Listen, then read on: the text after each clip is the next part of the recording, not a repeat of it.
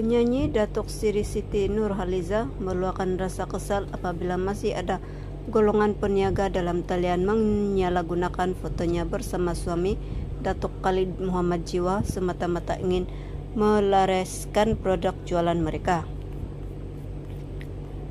Siti menerusi satu hantaran video terbaru di laman Instagramnya menjelaskan ini bukan kali pertama dia memberikan peringatan kepada orang ramai supaya tidak tertipu dengan akun palsu yang menggunakan namanya.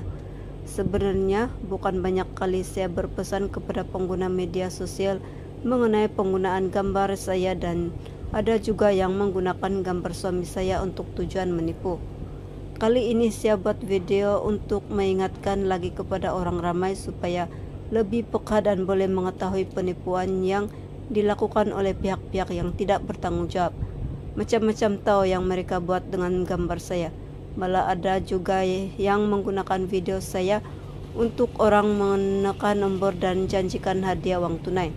Selain itu, ada juga iklan sempo yang katakan digunakan oleh suami saya sedangkan gambar suami saya itu baru balik umrah dalam keadaan botak.